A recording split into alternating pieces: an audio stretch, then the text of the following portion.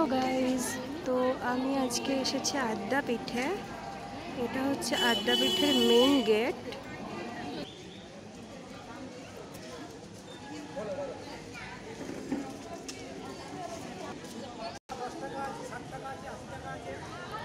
দক্ষিণেশ্বর থেকে টোটো ধরে আড্ডা পিঠে আসা যায়, মাত্র দশ টাকা ভাড়া আছে।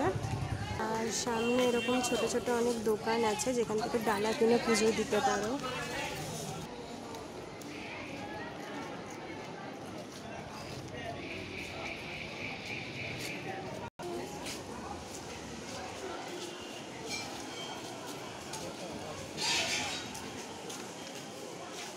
সামনে দেখা যাচ্ছে পুজো যাওয়া মানে পুজো দেওয়ার জন্য প্রচুর ভিড়। সাড়ে এগারোটায় বন্ধ হয়ে যায়।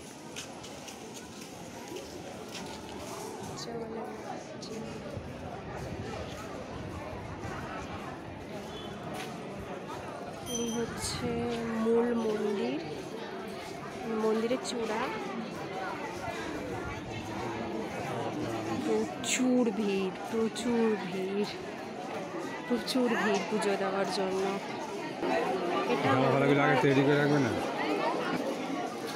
এটা মনে হয় নাট মন্দির। এটা হচ্ছে সত্যনারায়ণ মন্দির। দেখতে পাচ্ছ শিবলিঙ্গ রাখা রয়েছে।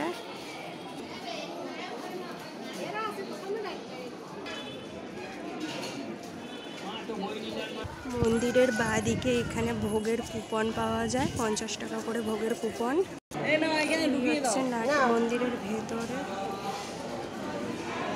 চলো এরপর ভোগ খেতে যাব।